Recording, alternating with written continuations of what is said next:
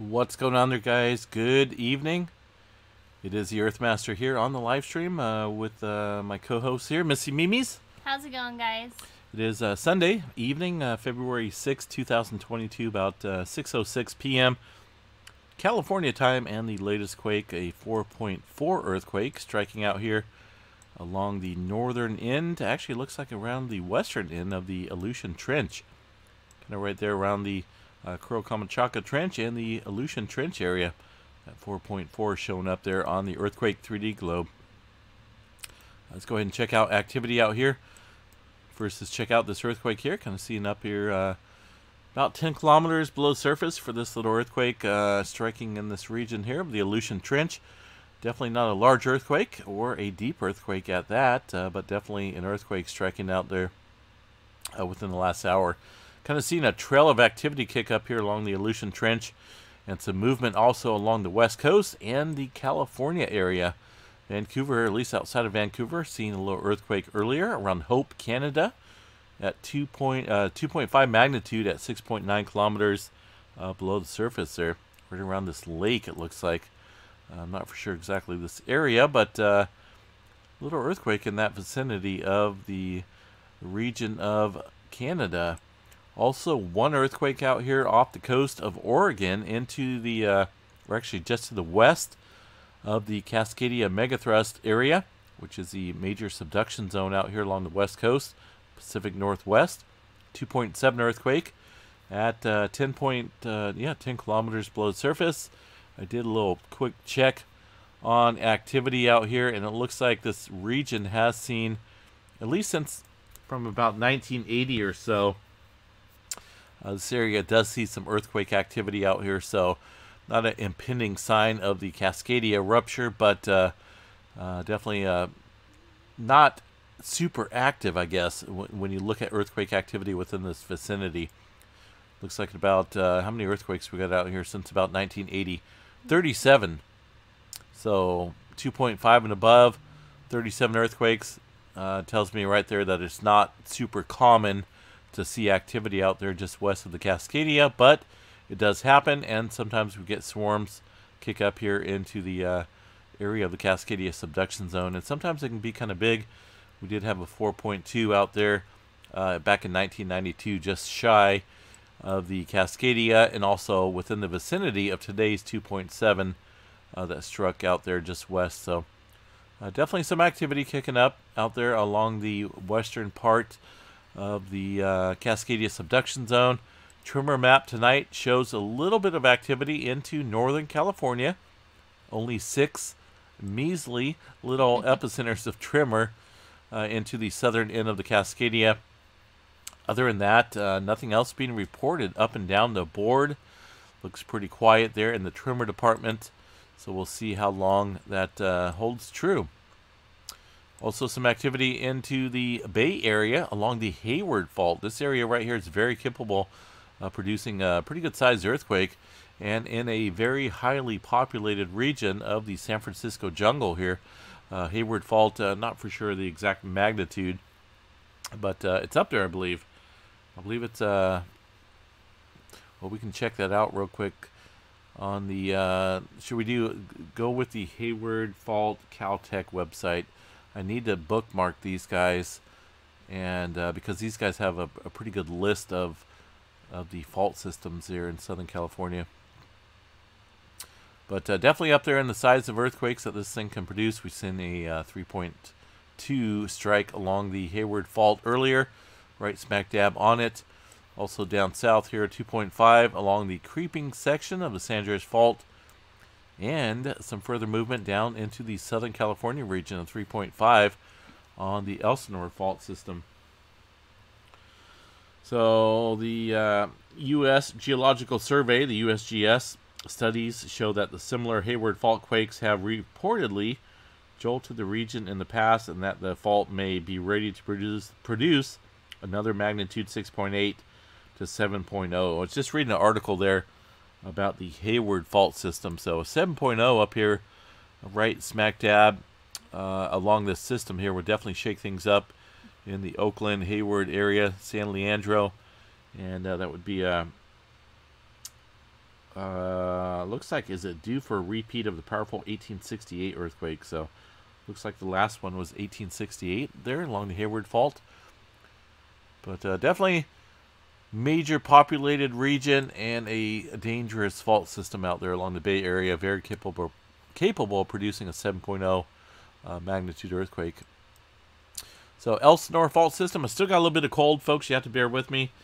Just kind of uh, just kicked up out of the blue a couple days ago. I'm still trying to kick it. It's the weirdest thing. I hardly ever get sick. If you watch my videos, I've been sick more times within the past few months than I have in the past 10 years. So it's kind of odd. Definitely kind of odd. This one's on the Elsinore fault. So the Elsinore fault uh, down here, where this 3.5 struck, uh, it's actually right smack dab on it, looks like. Uh, struck out there earlier. Felt around areas of Southern California show that uh, this fault system here is capable of producing a quake of 6.5 to 7.5 magnitude. The projected interval between major events is 250 years. The last major eruption, uh, let's see exactly when that was. I'm not 100% certain here. see if you can find that. Maybe we'll see if we can find when that struck.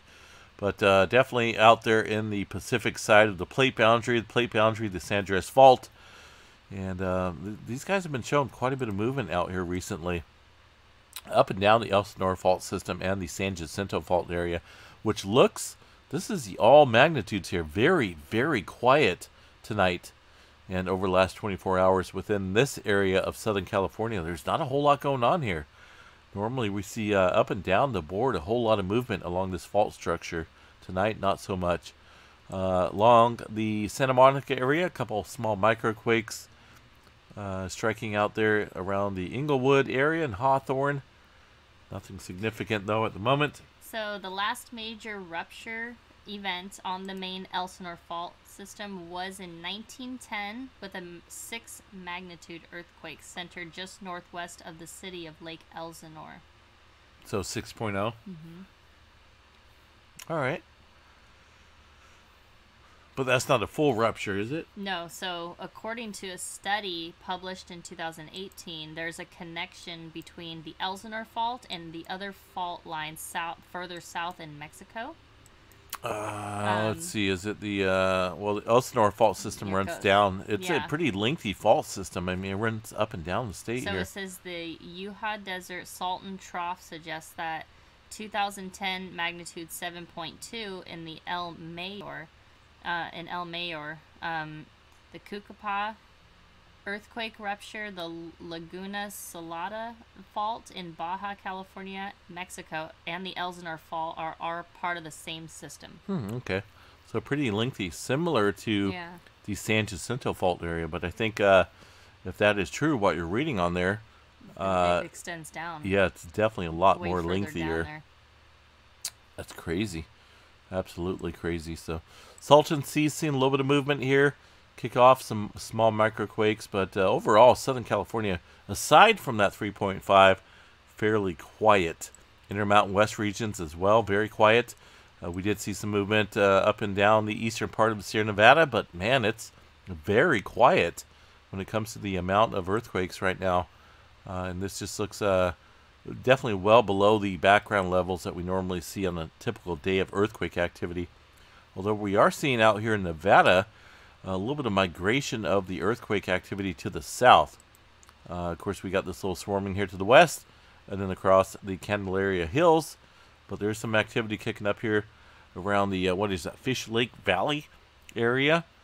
Um, I, I kind of look at these little movements here that are that are just out there, you know, away from the main swarm. That could be kind of pointing towards something a little bit different than uh, uh, than the current activity up here. So we'll kind of watch this pretty closely here, this migration to the south.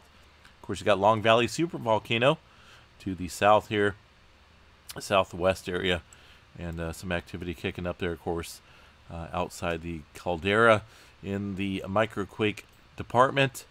Pacific Northwest, aside from this movement out, out here in the uh, ocean there in the Pacific, still seeing some activity ramp up around the Mount St. Helens area. That uh, movement uh, in the small, very small microquake range. Uh, the GPS station does show decline in activity, no inflation. Uh, so it's kind of just not for sure what's going on there. Just definitely some small microquakes at the moment there at Mount St. Helens. We're near another volcanoes along the Cascades. Looks pretty quiet for the most part. Uh, we did have, of course, that earthquake there in Vancouver area and a little 1.7 around the Washington and the BC border region. Uh, 1.7 at 37.1 kilometers. I did check out Earthquakes Canada earlier, and there's not a whole lot going on there. I don't know if these guys are uh, refreshing their data or not, but I, I mean, it just still shows the earthquake there from a couple, a few days ago there in the uh, Quebec area. Really surprised they're not reporting anything here that struck in their own country up here to the north. So it's kind of a little odd as to what's going on. I refreshed this thing quite a few times and uh, slower than the USGS. Possible. I mean, maybe they got something going on with their data, but Yeah. either way, earthquake activity not showing up there on the Earthquakes Canada map tonight. So it is what it is. We'll deal with that. Uh, nothing going on at the Yellowstone super volcano either. All this activity here looks like some type of interference or machinery or network uh, error there in the Lake Butte and Little West Thumb area. No localized earthquake activity to report there at Yellowstone. Eastern part of the country pretty quiet. Uh, did have that earthquake down here in the Gulf of Mexico, the Mexico Basin earlier, 4.4. And the swarming activity here in Puerto Rico remains kind of at a standstill, but still somewhat active here over the last 24 hours around the region. Uh, some activity here in the uh, Colombia and the South America region, also Panama, seen a 4.6. And a one earthquake here along the Peru Chile Trench at 5.3 kilometers, 103.4 kilometers. Wait, 5.3 magnitude at 103.4 kilometers. Wanted to see if you would uh, correct me there, but you didn't. All right, so we got uh, the big island still rocking and rolling out here along the southeast flank. Mauna Loa still remains uh, elevated in seismic activity, but uh, nothing erupting there at the moment. Of course, GPS uh, vertical displacement still shows a steady rise there in the uh, volcano there the, on the big island. Fiji did Fiji did see some activity here south here into the Tonga Trench, including a couple deep earthquakes in that region. One really of them, deep. uh, 566 kilometers below the surface, and the Indonesia area some deep activity as well, uh, with a couple fours kicking off there. Uh, movement throughout the uh, this is kind of some older earthquake activity here from this morning, and the Greece area, and uh, looks like Turkey had an earthquake as well, with a 4.1 striking in that area of the world. The Atlantic Ocean area south, pretty quiet, folks. Not a whole lot going on. So we'll see. Uh, kind of see what happens out here. Just kind of uh, at a standstill, I think, at the moment. Just kind of uh, waiting to see what happens here. We've got for solar weather. Let's go ahead and check this out here on the map real quick. We've got a uh, cooking dinner outside, so we got to watch the barbecue. Don't want to burn the uh, dinner tonight. That may not be good. uh, movement here. Release activity kind of working its way up. Uh, looks like C flare at a 70% chance, M flare for a 15% chance. Uh, sunspot activity, at least on the Earth side, fairly minimal, but there is these couple potential sunspots here that do have the ability to produce at least an uh, upper six C flare. It looks like maybe an M flare included in there as well. Behind this, not a whole lot going on. We'll see what happens though in the coming days. Hope everyone out there has a good night. Tomorrow, Monday, start of the work week, right? Unfortunately. So, Woohoo. Hope everyone enjoys the rest of the weekend out there. Please stay safe out there, everyone. Have a good night, guys. Chat to you guys later. Peace out.